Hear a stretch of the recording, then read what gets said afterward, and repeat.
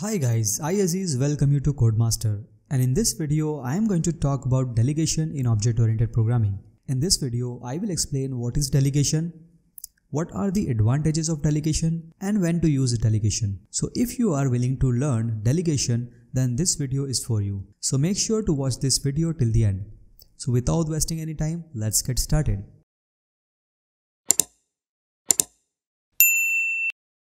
Alright guys, let's begin this video with the very first question that what is mean by delegation. So guys, in context to object-oriented programming, delegation means to hand over certain responsibility for a particular task to another class or method. In addition to it, it is a technique where an object exhibits certain responsibility to the outside world but in reality it delegates the responsibility to another object which implements that behavior or responsibility.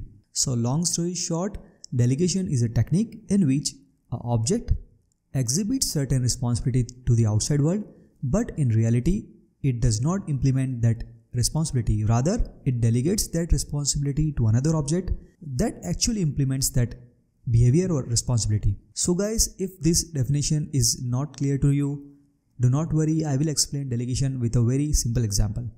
So let's head over to IDE where I will show you delegation in action. So we are on the IDE. So here you can see that we have one interface and this interface is acting as a contract for printer. Okay.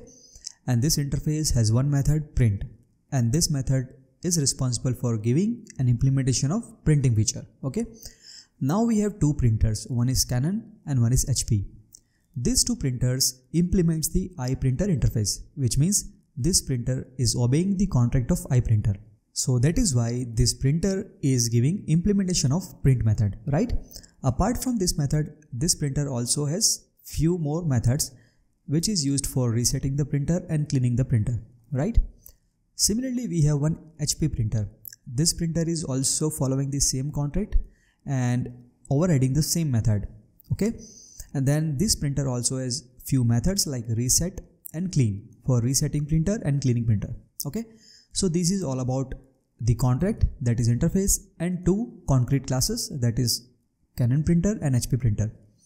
Now we have one printer controller class. Okay. Now printer controller class is also implements the iPrinter interface, which means this class also has to give implementation of print method, right? But if you look at the constructor of this class, you will see that this controller constructor is taking an instance of printer, okay? And then Instead of giving the implementation of print method, it is simply delegating the responsibility to the printer object, which it is getting from the constructor. So, which means using delegation, the printer controller exhibits certain responsibility to the outside world, but, but in reality, the implementation is not exist in the print method of the print controller class. This class is simply delegating the responsibility of printing content to the printer object. As simple as that. Now the question over here is the same thing we can also achieve using inheritance, right? We can inherit uh, from Canon printer or HP printer and we can use the same responsibility. Then why are we using the delegation? Well, there are many reasons that force us to use delegation instead of inheritance. And the first reason is, let's say in inheritance, we have a class and if I talk about this uh, example, we have Canon printer and this printer has three methods print, reset and clean. If we use inheritance instead of delegation, then we are forced to accept these two methods. But perhaps maybe we do not want to accept these two methods. So this is a reason we are using delegation instead of inheritance. Now the second strong reason is we get the runtime flexibility using delegation. Why is it so? At runtime, if we want to change the delegation behavior, from Canon printer to HP printer, we can change it. Let me show you in action. So let's say I have created an instance of printer controller and this time this printer controller is delegating responsibility to HP printer and we are printing content on the screen. So far so clear. Now let's say I want to change the delegation from HP printer to Canon printer. Okay. So we can so we can change the delegation at runtime. Now I can print using Canon printer. Let's use the same statement and just replace it with Canon. okay run the program. So you will see that at runtime we are changing the delegation behavior.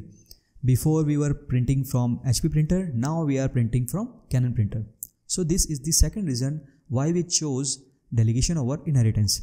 Now the next question that comes in our mind that what are the advantages of delegation so the number one advantage of delegation is as there are many implementer of the common behavior right for example Canon printer and HP printer. Now tomorrow if we introduce new changes in any of the implementer or all of the implementer then our delegation will still be operational. It will not going to directly impact the delegation. Why is it so? Because we are only using a particular behavior of a implementer. We are not using the entire implementer. In case of our example, we are only using the print method of Canon printer or HP printer.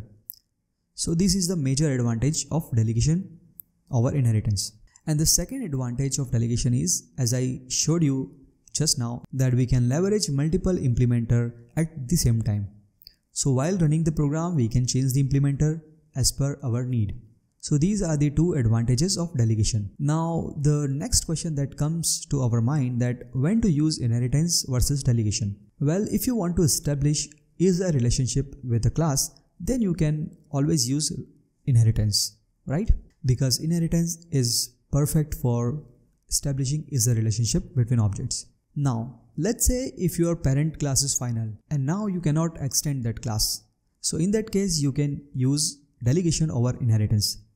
Because you cannot extend class, it is better to use delegation. Now the third reason is, so let's say there is a class and that class has multiple behaviors but you do not want to change any of the behavior of that class. In that case, you can also use delegation instead of inheritance. So guys, overall delegation makes our code modular.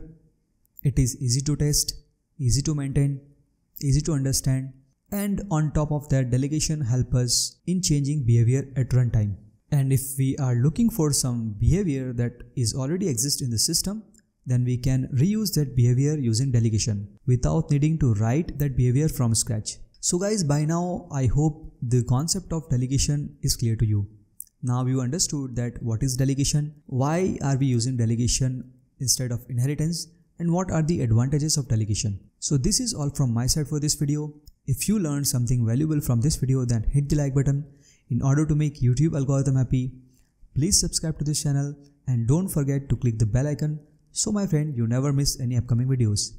Thanks for watching. See you in the next one.